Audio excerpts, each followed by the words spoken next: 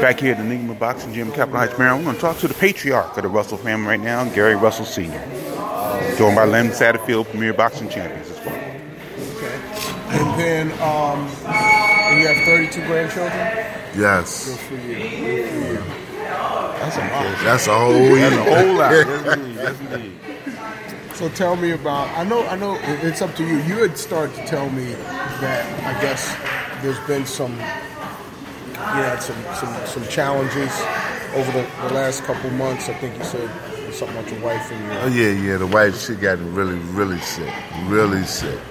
Um, and we kept going back and forth to the hospital, and they weren't giving her, you know, a diagnosis. You know what it was? Uh, it's called Graves' disease. Okay. So we took her to the hospital. Um, left the gym, got home about eleven thirty, quarter to twelve, and her legs were swollen. She was in the tub, couldn't get out the tub. So no, we got to go to the hospital. I took her to GW, and they discovered what it was. So she's on the recovery track. She's getting on my nerves now. So she's recovering. Uh, what month was that? uh, this happened last month. Right. And she's okay. She's been going through it since I think uh, November. Right. because we were wondering whether or not she was hospitalized during uh, Thanksgiving, the week of, and they let out just the day before. Yeah. 'cause I know your, your sons were scheduled to fight at first, and then Yeah, I had to pull it. Yeah, Yeah, yeah. Now, the one thing that I think a lot of people, and I know myself being from a big family, and we have a thing called First Sunday Dinner, um, where everybody shows up. What I always tell them, and my, by the way, my nephews live right in this neighborhood, and my brother, their father lives right in this neighborhood. They all live right around here, off of Ritchie Marlboro, so they, they know of you. That the, the cohesiveness of your family, um, you know, I don't see can you just talk about that and how when things like what you just experienced you guys pull back and you kind of yeah, yeah. Like you say, the keys of the family is very important. Um, we've implemented Sunday dinner. You know, every Sunday, all the family come over and they eat. You know, um, yeah. And then, fortunately, I just bought another house right next yeah door. that's what i was going to ask Yeah. tell me about that when Beautiful. did you do that Oh man, we do this. Uh, late November. Late November. So we got 19 and 21. Okay. You know, so I might cook at 19 to bring everything over to 21. okay You know, so who lives in both houses me. you and your wife No, my wife has been staying in the new house okay because she got her own walk-in closets. And she has, I think she called it her her, her girly room. okay So she's there. I've been staying at the other house. okay Sometimes you need a break. Yeah, you Yeah. need a break. okay so go ahead I was just thinking, uh, I came late, but uh, where are the young kids now uh, in their development, and where uh, are they right on time in your opinion? Antonio and Anton. For this fight, Well, just just at their career level right now. I think it could be um, pushed a little faster, you know, but I'm contented and happy with the way they're progressing right now. I think they're on, they still got learning. You know, you never ever learn this sport. You know Do what I mean? you think they should have more fights up to this point? yes. Is that something you push for, or you just take it as it comes? Take it as it comes. Um, I've asked for a couple of fights for both Antuanne and Antonio, but because they're my kids, I'm gonna be very, very careful in the way I move them. You know, so they might offer me some. Uh, we're not doing this. Not right now. Now, the guy Antonio was fighting, he fought a lot of fights. He's like At least by the record. 60 something, yeah. Yeah. Uh, what is it? Um, Thirty 34 and Lucas Baez. 17, 34, 17 and 5. and five. You got it. You own it. uh, we might not take that fight. Not based on his record. Uh, we were supposed to fight him a couple months back, and he didn't pass uh, the hepatitis test. So now all of a sudden he passed it. I mean, Yeah, right. Yeah, that's, that's Yeah, important. that was, that was the issue with that last fight, right? exactly. So what happens then if you don't take it? They, got to find somebody else. But you will fight on. Yeah, Fight definitely. on 26. Definitely. Mm-hmm. So they got time, you know, from now until 26 to find an opponent that has a clear medical history. Mm-hmm. Talk to, Go ahead. Go ahead. I was going to say, what, what about Antuanne's opponent? He's kind of a tough guy. It's a good step up for him, you know. But I'm happy with Antuanne's performance. He's learning.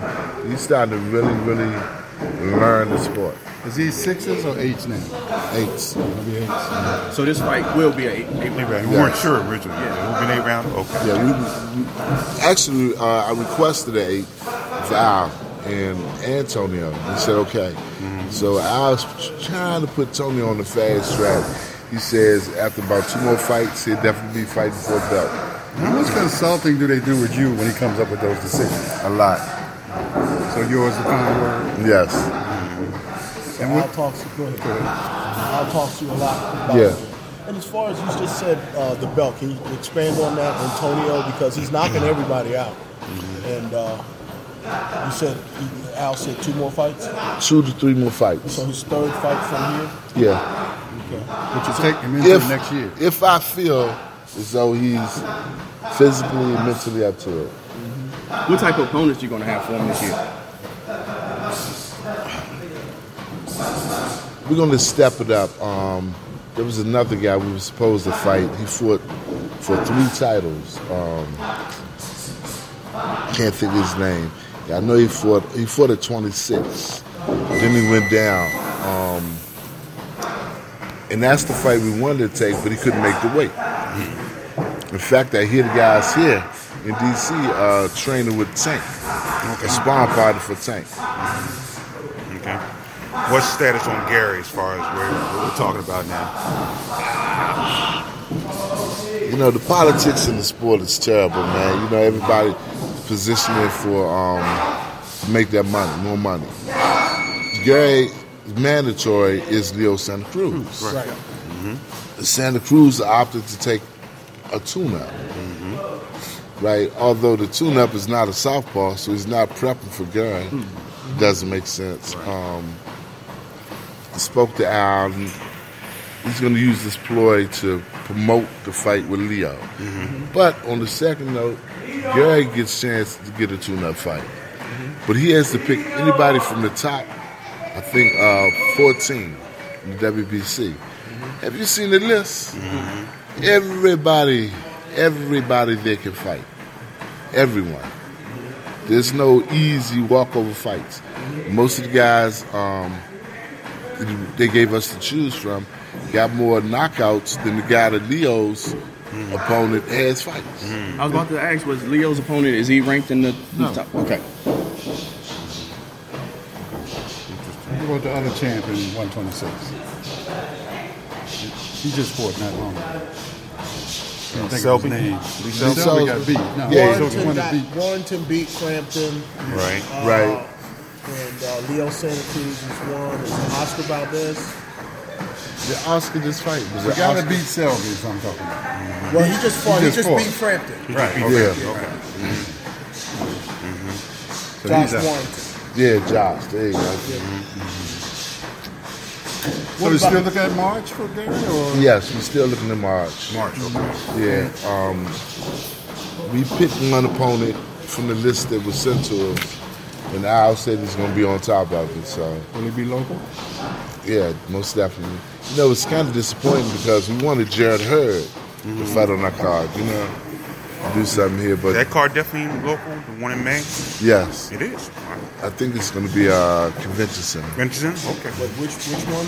The one Jared uh, Hurd. Hurd and J. Rock Williams. Okay. That's a convention center in It's a rough fight, too. DC? May. Yeah. Wow. In May. Yeah. Convention center. Walter Washington? I guess so. Mm-hmm. Well, you say he wanted to fight home. Yeah, So you were trying to get a, a Russell Hurd call. exactly. Yeah, that's always supposed to that would have been a nice That'd card. be- that'd be Fantastic. Yeah. Yeah. Yeah, sell out all of it. So what was our talks about that when it, when he when you you know brought it to his attention? he was listening, but you know, it's, he went in a different direction because you know he already scheduled a fight for her in, in May. And And you want Gary to fight in March or April? I would like for him to fight in April. Mm-hmm. Um, that's what he just said. That's contingent upon Al getting this guy we picked. Mm-hmm. You want to say who it is? Or? Uh, his name is Koa Ko Koa something, real short dude. Where's he um, from? I'm not even sure, man. I don't look at him until we locked in. Right. And this weekend, I might do two sections of watching him fight. You know, about five rounds, mm-hmm. and I just shut him down. And he's, get in, and he's in the top four, top 14. Top, top 15. I think he's number 11. What was Al Haymon's response to see the crowd when, when Gary fought Leo Santa Cruz here? The, the, the, the turnout of the crowd and everything. What was his response to that? When he fought Leo, I mean, Julio I'm sorry, Diaz. Julio, Julio Diaz. Jojo Diaz. JoJo. Yep. Jojo Diaz.